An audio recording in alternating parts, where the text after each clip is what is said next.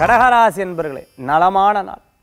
இன்றைய தினத்தில் மருத்துவமனையில் சிகிச்சை எடுத்துட்டுருக்குறோம் உடல் ரீதியான உபாதைகள் இருந்துட்டு இருக்கிறவாளுக்கெல்லாம் மாற்றங்கள் உண்டு ஆரோக்கியம் பெருகும். ஆனால் புதுசாக ஏதேனும் உபாதைகள் திருப்பி வராது இருக்கிறது கவனம் என்பது தேவை மருத்துவமனையில் இருக்கிறவா வீடு திரும்புறதுக்கு உண்டான வாய்ப்புகள் இருக்குது வெளிநாடு சம்பந்தமான பிஸ்னஸ் பண்ணுறவங்க எக்ஸ்போர்ட் இம்போர்ட் லாஜிஸ்டிக் சம்பந்தமான பிஸ்னஸில் இருக்கிறவங்களுக்கு அமோகமான பலன்கள் உண்டு.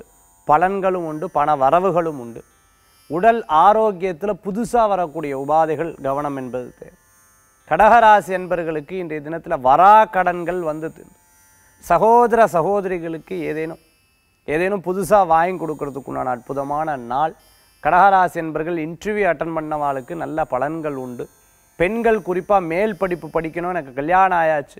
அதுக்கப்புறம் நான் எல்லாத்தையும் விட்டுவிட்டேன் திருப்பி தொடரணும்னு நினச்சின்னு இருக்கிறவங்களுக்கு நல்ல பயன்கள் உண்டு. நீங்கள் முயற்சி செய்தால் வெற்றி அடையணும்.